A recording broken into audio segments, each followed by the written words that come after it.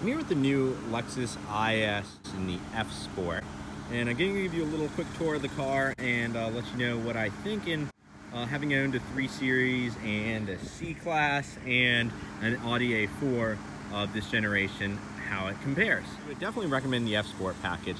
As to the styling, it grows on me the more and more I see it. Um, I definitely think in Gen 2, I hopefully they'll soften it down a little bit, much like BMW did uh, you know, with their uh, Bangle's styling from that generation. From the side, though, it looks phenomenal. Uh, again, the F Sport package gives it, you know, the nice summer tires that are a little bit bigger, uh, the little F Sport badge there, and uh, this down here, which just almost is, if you look at it, it's almost like a continuing swoop, uh, you know, back into the bumper there. I think that's a cool style choice. Good looking car, and then it's got this like kink in the window here, which is kind of interesting. And then of course it's got the LEDs back here that make the famous L for Lexus. Uh, and of course you do get um, some, you know, ground effects down there with the F, uh, F Sport. Um, good looking car overall. Guys, some exhaust, uh, because I bet this exhaust might sound pretty decent. Uh, we shall see. It sounds pretty nice in the car, the engine, so let's see how it sounds outside.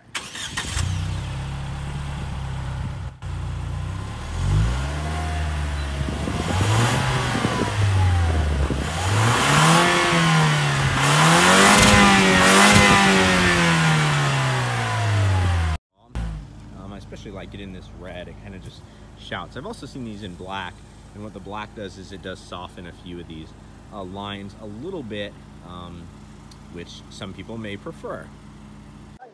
Uh, specific details. I really do like how there's this kind of mesh uh, material down there. I think that's super nice. Like, I like something in between just blacked out and chrome. Sorry about my hands. I've been working on cars all day. But I do like something between blacked out and chrome, and I think that does it for you. So let's check out the engine. Although this is called the 300, much like that is a 300. Nowadays, those numbers don't really mean what they used to. So let's check out the engine in there. Uh, so it is a 2-liter, uh, pretty nicely laid out engine. I thought it was kind of interesting. They do put the battery in the front because this car does have a front uh, bias weight distribution. You think they would could have moved that to the back and helped gotten that a little bit closer. Um, but very clean, nice engine package overall. I do like how it's set really far back. Checking out this car, I said on my first impression, having owned all three of the competitors, why would you get a Mercedes or a, uh, an Audi or a BMW, which I will answer at the end why you might, but why you might also choose this. So Lexus did not give me this Lexus hat. This Lexus hat I'm wearing uh, as actually part of this review, I actually had it in a swag bag from some event I was at that where Lexus gave it. Uh, and so I thought, hey, I'm in a Lexus, might as well wear the hat. Uh, let me get out of the way some things that uh, I'm not a huge fan of or things that kind of Lexus could improve in the next version uh, of this car. One is the transmission, if they're older, uh, 8-speed I'm sensing because sometimes it's a little slow to play catch-up. It's not bad, but it's definitely not great like some of the newer Lexus transmissions or definitely like the ZF uh, 8 speeds, to be sure. I'm um, also, like uh, something that kind of surprised me, there's one uh, cigarette lighter port uh, in the console, one on the whole car. Um, on my 2000 M5, that's the only sedan recently I can uh, remember that only had one throughout the entire car. Usually there's one like in the back, uh, you know, down by the glove box somewhere else. Here there's only one. I even looked it up in the manual just to be sure.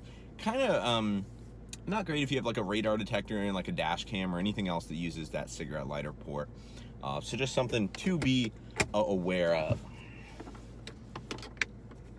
Again, probably not a probably not a deal breaker, uh, but it is. It was just kind of surprising to me on a you know 2018 uh, car. All right. Um, and the other thing is uh, this engine, uh, which I'll talk about in the drive review. It used to be uh, called the IS200, now it's called T, now it's called the, uh, this engine used to be called the 200T, now it's called the 300. Also, and I'll talk more about this in the drive review, um, but because this is an F Sport versus a full F car, there's no Sport Plus mode. Um, so the steering in Sport uh, it's not as direct and quick as it could be. You know, it's something for Lexus to improve the next version uh, of this car. Nice. I would say only beaten by the Mercedes, probably, you know, tied with the BMW. The Audi's close. There are some parts of the Audi that are nicer. There's some parts of this that are nicer. Uh, but let's start going through it. You know, nice leather and metal trim pieces everywhere on the F Sport package. You get this F wheel and you get this awesome gauge. Uh, which I could do a whole video on, frankly. Uh, what's most neat about it, though, is this is its party piece. Let me just show you guys. So here's kind of like the standard view. It's kind of a more sporty one, but that's basically something right off the LFA. And in addition to that, this gauge can change as well. That is just about the coolest thing, one of the coolest gauges I've ever seen uh, in a car today. And then of course you can put crazy info down here.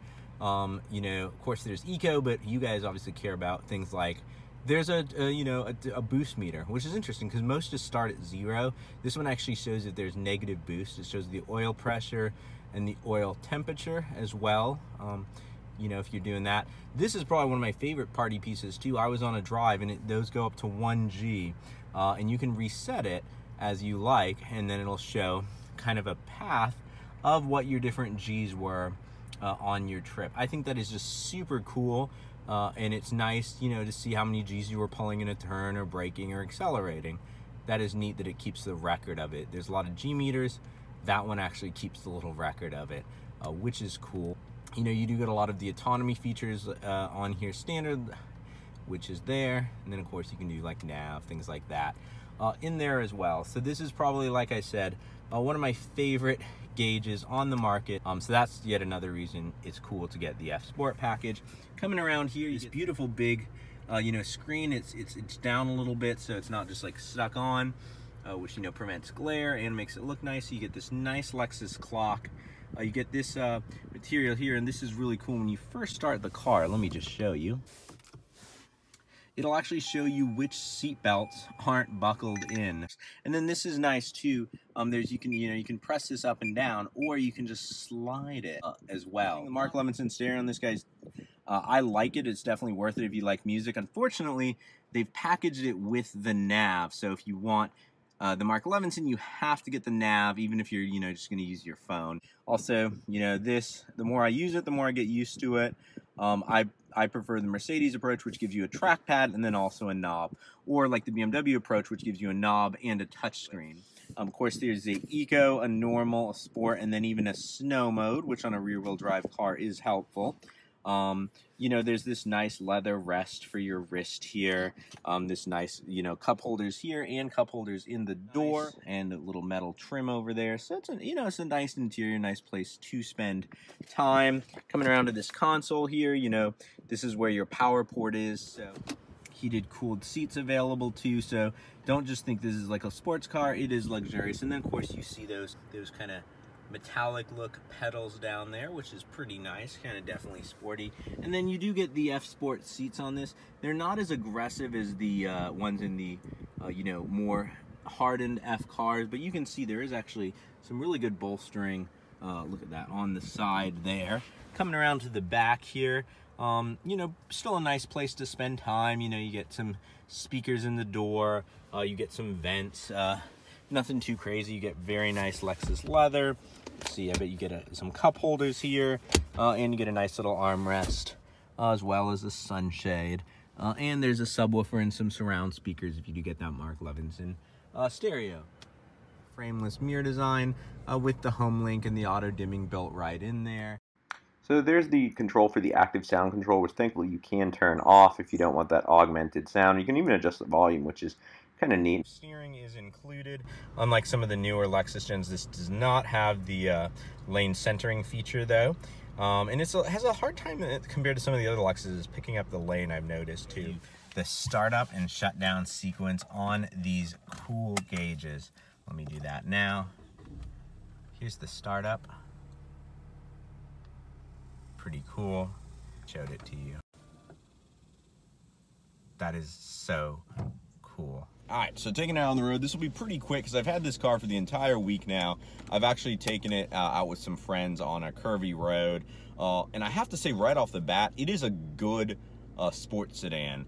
And I jokingly said in the beginning of this video, um, why would you buy like a 3 Series or a C Class um, or an A4 uh, because of this car? Um, and I've bought all three of those cars in the past, and uh, I still kind of wonder that uh, to a certain degree. Let me get the few little critiques I have out of the way early on on this car. They're not many. The It's still using what I'm going to guess is the older 8-speed transmission uh, Lexus has. Um, it's not as fast as their newer transmission I've experienced in other cars, um, or as good as like the ZF 8-speed. Uh, it's a small thing. Also, lots of little gripes like just very little things. This car is now in its, I think, third generation. Um, and the cooled seats, they're not that powerful, at least, you know, if I'm wearing thicker clothes. I can't even really feel the cooling. They're blowing and you know it's there, but again, a minor gripe. And what surprised me is I haven't experienced this in any car, you know, since my 2000 M5, and I expect it in the 20-year-old car. Um, there's one cigarette port on the console for the accessory. Granted, there are two USB, which is nice, um, but if you want to run a radar and say like a dash cam or really anything else like that, uh, there's no second one. Usually cars will have a second in the back somewhere or, you know, down here. Uh, this one does not. Let me talk about the engine, uh, and let me just get on the road and we'll do that now. Uh, with the 200, even without, sunshade goes down automatically in reverse, which is kind of a cool feature. Uh, even without the all-wheel drive, frankly, the 200's not the or I'm sorry, I keep calling it the 200 because it's a 2 liter turbo. The 300, it's very fast around town. It's actually very torquey, good get up and go. You put it in sport mode. Let me just show you. A little bit of kick down and turbo lag, but man, once it's off and we're flying. Um, but on the highway, when you're, if you do a lot of passing or a lot of, you know, higher speed highway driving, um, once it gets up to speed, it's actually very good at maintaining it. It's very fuel efficient. With the 8 speed, you can do it at a low RPM uh, in the turbo. Uh, but getting up from like, say, 70 to 85, things like that, it definitely runs out of power on the high end. Uh, which you could say, oh, well, it's only, you know, around 240 horsepower. Uh, so, uh, but the A4 uh, engine is better on the high end. Even the Mercedes uh, C class and definitely the BMW. It's probably closest to the C class. It's just the way uh, Mercedes has done their gearing. It's more, you know, tuned for the Autobahn, so it definitely, it feels a little better in that type of driving. So let's yeah talk about the good on this car. Around town, the engine is quick, it's responsive, it's fast, and it's a very fuel efficient engine. Uh, I do have to say, Lexus has definitely done a good job with fuel economy. So kudos to him on that. Steering is pretty quick when you put it in sport mode. Doing, let me show you guys. So let me try to show you on the steering. Got it in sport mode, got up to speed. See doing all this, the car's not really responding. So that, you know, that being said, that's a huge area of improvement. Either give it a Sport Plus or in especially cars with the F Sport treatment, uh, I know, I believe M is doing this and like the uh, not the actual M cars, but the M Sports and AMG Sports, they all give it a, a an, like an F Sport tuning on the steering here, back roads. Uh, and that's where this car really, really shines, believe it or not, with the rear wheel drive, with it being relatively light um, and it being, you know, fairly torquey on things like that. It is a blast to drive. I even turned on that ASC, that uh, augmented sound feature, um, because I actually kind of uh, miss not having sound in my car. Uh, other cars on our drive were like overheating. Uh, this one had no overheating problems, which was great. Other, you know, new modern cars like uh, were having issues because we, you know, it was 100 degree heat when my friends and I were out driving. So that was that was a huge a testament to this car, as is the suspension tuning. Oh, it's a little bit on the rougher side. If you're looking for like the luxury uh, choice, um, I would skip, you know, maybe skip that. Um, it's still a Lexus and it's still very nice, um, but you definitely can feel the difference. Um, but man, it makes up for it by far in the handlings. The brakes are actually really, really good. When you get really deep into them, um, uh, you know, you kind of feel a little bit, um, but again, this isn't a true uh, F car, it's an F Sport, um, which is kind of like their middle ground. They, though that is one component they didn't upgrade. They didn't upgrade the steering and they didn't upgrade, I believe, the brake. Let me tell you what the F Sport is. It's an appearance package, you know, the front bumper, the grill, spindle grill, which is cool, 18 inch F Sport wheels, uh, summer tires, and then interior, there's that cool LFA display. Of course, this button is what moves that display over, which I, as I showed you earlier. Heated and ventilated F Sport seats, they actually do hold you in really, really well. Uh, good, good bolstering here on the side. It fills my entire hand. F Sport logo on the steering wheel. Again, no F Sport actual steering though. Sport shift knob. Looks pretty similar to the standard one, but it is uh, slightly different. Black headliner trim, which is actually very nice. Uh, and then of course I love the F-Sport suspension. It seems like I've been hard on this car and I don't like it, which is not true. I actually am a huge, huge fan of this car. Uh, I think it can play with any of the Germans, which is a huge compliment.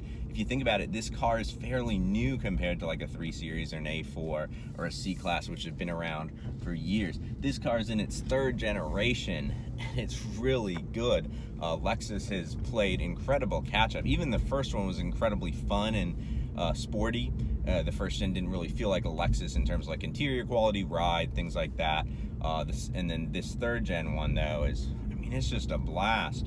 Uh, you can get 1G of acceleration uh, left and right uh, with these summer tires and the F Sport suspension tuning. Uh, that's really blast. Like, let me throw it through a corner here.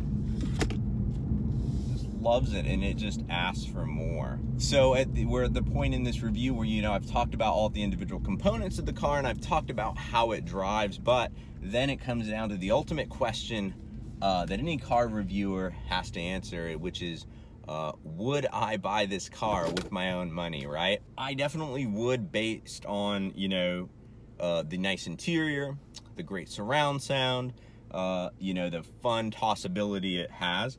The only thing keep holding me back would be perhaps the engine.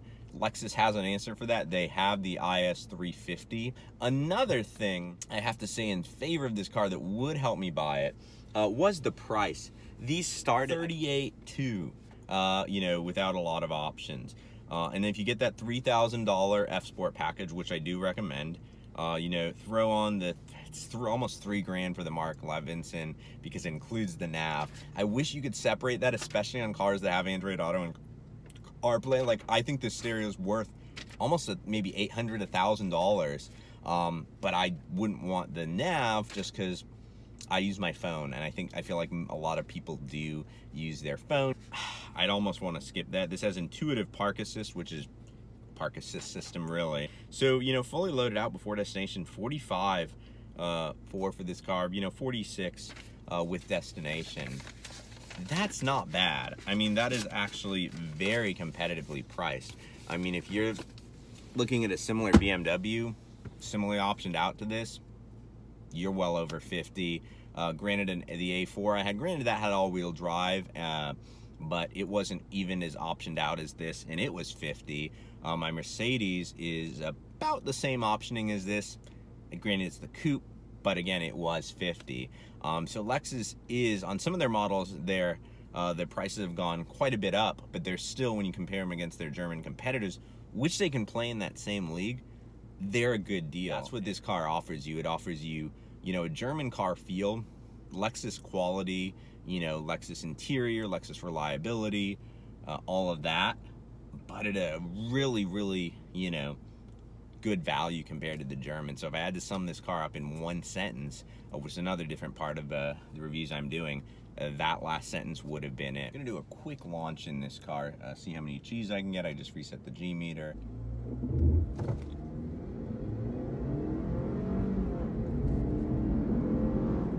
it's quick. It, it, pulls up to half a G, uh, you know, of, of force uh, when you give it a good launch. Well, next time, my speedy racers, drive on.